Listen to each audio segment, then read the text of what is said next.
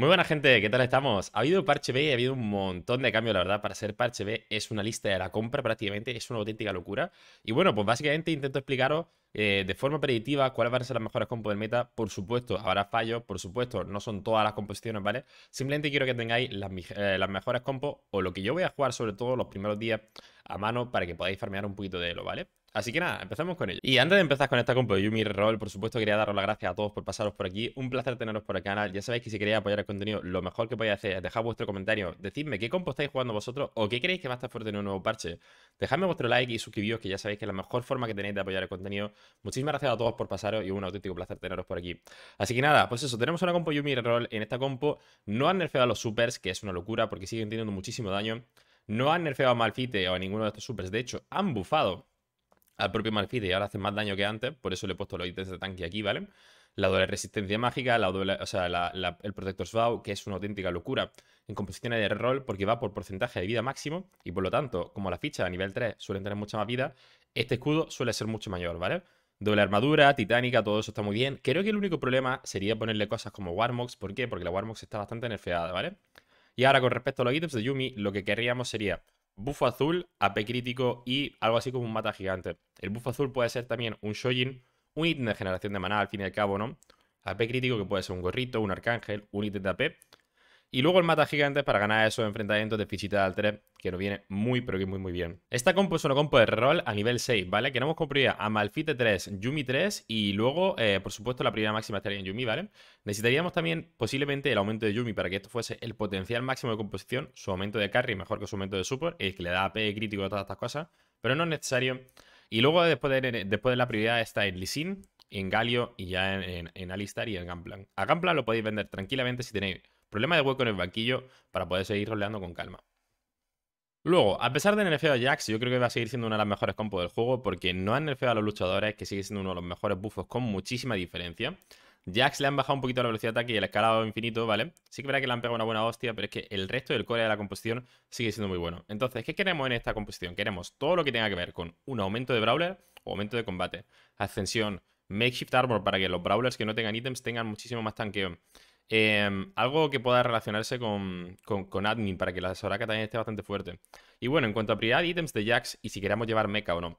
La gente siempre pregunta, ¿quieres llevar el mecha en, Jax? No, no quiere llevar el mecha en Jax. ¿Y por qué no? Porque son huecos muy valiosos, ¿vale? Son huecos muy valiosos para más luchadores. Y es que los luchadores escalan de una forma completamente ridícula.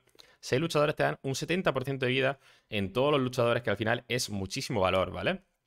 Con respecto a los ítems de Jax, el ítem más importante de todo sería la sanguinaria barra sable y pistola para que se cure. Luego la Ginsu para que tenga ese escalado infinito tan peligroso. Y por último querrías un doble arco, un RFC, o sea, perdón, un RFC que es un doble arco, ¿no? Una titánica o algo del estilo para seguir aportándole un poquito de valor. El carry secundario en esta composición es Soraka. Y a nuestro ficha a nivel 7 que le ponemos los ítems de AP que nos suenen en la composición. ¿Por qué Soraka? Porque Soraka nos da admin con Blitzcrank, que muchas veces los admins son admins de combate que te pueden dar o daño, durante, daño de AD durante el, durante el combate o AP durante el combate. Que por cierto, el AP en esta composición es una locura, porque Jax no es un carry de AD, es un carry de AP. Los objetos de daño físico le vienen mal, los objetos de daño mágico le vienen bien. Por eso muchas veces habréis visto un Jax con AP crítico que funciona a las mil maravillas, porque es que su habilidad hace únicamente daño mágico. Riven escala por daño mágico, Sejuani también, Vi también, Lisi también. Y bueno, pues eso, la propia Soraka también le viene muy bien. Entonces, el admin de Blitzcrank con Soraka te encaja perfectamente en la composición y todos los objetos de AP que no vayas a usar en Jax los pones en Soraka. Ella muchas veces incluso hace más daño que Jax y te gana algunas teamfights que no puede ganar de otra manera. Los objetos de tanque van normalmente para Riven porque es más fácil conseguir las dos que Sejuani y por otro lado porque Solía es un escudo que le permite aprovechar durante mucho más tiempo el valor de estos objetos de tanque, ¿no? Entonces, al Riven quieres ponerle la Warmox, la capa de fuego solar, lo de resistencia mágica, la redención. Y es muy importante que la redención de Riven o en quien sea que la pongáis, la pongáis cerca de Jax, porque eh, básicamente la redención lo que hace es curar en área y recibir menos daño del hechizo, eh, de los hechizos multitarget, de los hechizos en área, ¿no? Entonces Jax, al tener muchísima vida, si se va beneficiando de la sanación de la redención, eh, le viene muy pero que muy bien para no morir contra esos campeones de AP. Y ya está. Por lo demás, en esta composición, cuando ya está a nivel 7 con la compo completa, normalmente a nivel 8 meterías cualquiera X. A ver, voy a buscarme una X por aquí. X, hola. Bien. A nivel 8 la inclusión sería una X y el mech únicamente entra a nivel 9 si tenéis tiempo y dinero para conseguirlo, ¿vale? A nivel 9 se quitaría Alistar Poleona y se metería aquí un set. Entonces tendrías mech y ya por fin harías Ajax mech. Lo idóneo de todas maneras sigue siendo la vertical de Brawlers, simplemente enfocarte en más Brawlers. Si tienes una espátula Brawler, esto suele ser prácticamente un top 2 garantizado, porque puedes hacer Brawler a Soraka, y entonces llegas a esos 8 Brawlers, porque necesitas solo una espátula para conseguir los 8. Aquí hay un Renekton en vez de Soraka, o sea, en vez de Alistar, y con 8 Brawlers normalmente vas a quedar muy, pero que muy a gusto en la partida. El único problema que mucha gente va a seguir jugando Jax, quiero yo, a pesar de feo, y es una compo que se rolea normalmente a nivel 7 si vas cómodo, si no, a nivel 6 tienes que rolear por Jax. Tened en cuenta que el aumento de la 3-2 muchas veces os da la opción de un, héroe de coste 3. Entonces puede ser que os den un Jax de ese aumento. Así que tenéis pareja de Jax, no roleéis antes de la 3-2 que os pueden dar Jax de la caja. Esta compo ya la había puesto en el top y era la compo de mi Fortune Carry con Anima Squad. Em, ya la había explicado anteriormente, pero creo que ahora va a tener más protagonismo, sencillamente porque a mi Fortune la han bufado y han nerfeado el resto del meta, entonces os voy a explicar un poquito el core de la compo. Aquí puse 5 Anima Squad y creo que sigue siendo una muy buena transición, a pesar de que luego los quieras quitar de en medio, sencillamente porque es una transición un poco más barata, ¿vale? Entonces, los objetos de mi Fortune normalmente van en Jinx al principio de la partida, o algún otro campeón de AP que tengas, porque, bueno, lo idóneo sería en Jinx para empezar a acumular Anima Squad y esa fama, ¿no? Pero si tienes otro campeón de AP, no pasa nada. A mi Fortuna le han subido una chispitita de daño que le va a venir muy pero que muy bien. El tanque en esta composición, una vez más, es Riden, uno de los mejores campeones del TFT a nivel de tanqueo, una auténtica maravilla. Y bueno, básicamente los huecos que rellenamos son Brawler con Sejuani, que es una locura, CC máximo, Defender cualquiera, que puede ser Relo o cualquier otro Defender, ¿no? El señor Nasus nos da Mascot, por lo tanto tenemos aquí a Galio que nos da Mascot y Civilian, que es Manano. Y estos dos últimos huecos de Anima Squad sencillamente lo llevamos porque es una compo barata. Cuando tengamos dinero, lo sustituiremos por fichas mejores, como por ejemplo Jana o meter dos a X y cosas del estilo, ¿vale? En la versión de Late, Late realmente no entraría ninguna de estas fichas, menos Riven, Sejuani y Mi Fortune, y simplemente os quedaríais con un ejército de legendaria épica y Mi Fortune. Pero yo os pongo aquí el ejemplo de la versión barata para que os hagáis una idea de lo que tenéis que buscar al principio, ¿vale? E insisto, la primera sustitución es Jinx Carry para pasarle los ítems a mi Fortune. Una vez que mi Fortune ya tenga los ítems y ya tengamos el core montado y nos siga sobrando dinero, buscamos aquí huecos de utilidad en estas dos fichitas y a volar. Mi Fortune ahora mismo va a ser una auténtica pasada y yo confío en que va a ser una compo muy muy tocha. Y ya por último, una predicción un poquito más peligrosa, pero que creo que de hace tiempo está a punto de petardear, pero no termina de encajar porque no es su parche. Creo que con este parche B esta compo va a tener protagonismo al fin. Es una compo de nivel 7, en la cual el Nila, Nila es tu tanque y Vaine y Kaisa son tu carry. Lo que han bufado es 2, 3 y 4 recon, ¿vale?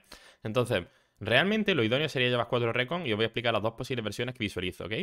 El tanque en esta composición sí o sí es Nila. Es un campeón que... Em, en este set, por algún motivo, es tanque.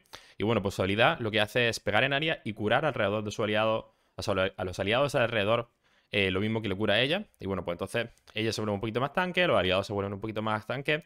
Y por eso los ponen aquí todos juntitos para que se beneficien de la habilidad, ¿vale? Doble armadura, doble resistencia mágica, Warmox. La Warmox intentaba evitarle este parche porque la han nerfeado. Eh, capa de fuego solar y todas esas cosillas nos vienen maravillosamente en Nira. Vaine quiere sí o sí probablemente la doble espada porque se beneficia mucho del daño físico y va a hacer daño verdadero en base a ese daño físico, así que cojonudo. Hago como una Ginso, una sanguinaria para seguro, una mano de la justicia, un Runan, cosas del estilo, ¿no? Kaisa también quiere Ginso, lógicamente no va a poder itemizarla a las dos al mismo tiempo. O sea que la primera que tengas al 2 le pones la Ginso y luego Kaisa es un campeón de AP. Ella quiere AP crítico, sale pistola y estas cosillas. Y entonces, ¿dónde viene mi duda? Si queremos jugar 4 duelistas o 4 recon. Es verdad que 4 duelistas no le beneficia a Kaisa, pero es que si quieres jugar 4 recon tienes que jugar a Ashe y a Ezreal. Y entonces, como comprenderéis, quitar a Fiora y a Suo para meter a Ashe y Ezreal empeora considerablemente la compo por dos motivos. Han bufado a Fiora, eso hace que sea bastante mejor campeón. Fiora nos da Oxforce con Alistar, que es un bufo de locos para tanquear, ya que es un segundo de inmunidad cuando van a morir, que nos va a ganar muchísimo tiempo para estas dos señoras de aquí. Y bueno, que Yasuo también es un pedazo de unidad porque tiene CC. Ahora, sin embargo, si por lo que sea te dan un emblema Recon, yo sí que sí quitaría dos duelistas y metería al Ezreal ese travieso para tener cuatro Recon que ahora mismo van a tener mucho, mucho más crítico, ¿vale? En caso contrario, creo que es mucho más difícil encajar los Recons y jugaría algo del estilo. Y es una compo de reroll a nivel 7 una vez más, donde buscamos a nivel 7 Vaine 3, Kaisa 3, Nira 3. La primera que nos den prioridad la subimos a nivel 3. Y como veis, en ingeniería general también es una compo bastante accesible y barata porque lo que vamos buscando son coste 3, coste 2 y este eco puede ser cualquiera X o una ficha de utilidad que nos vaya haciendo el apaño. Así que nada, esta es mi predicción un poquito más peligrosa. Las otras tres compos sí que tengo clarísimo que van a ser bastante fuertes en el metajuego. Que lo disfrutéis, vuestros primeros días de Rankeds, a tope con ello. En cuanto esté un poquito más asentado el meta y yo vuelva de la Gamer y que tengo un evento gaming este fin de semana, chavales, en Madrid, que por cierto, si os queréis pasar en Madrid de la Gamer y estaré en el stand de TFT, tanto el sábado por la mañana como el domingo por la tarde. Así que nada, todo el mundo bienvenido a unirse y a echar un ratico conmigo. Y en cuanto vuelva de eso, haré un meta, un vídeo del meta asentado para que podáis enfocar vuestras partidas a partir de ahí. Joder, perdonadme. Muchas gracias por pasaros. Un placer teneros por aquí y que vaya muy muy bien el día. Hasta luego, chavales. Chao, chao. Y chavales.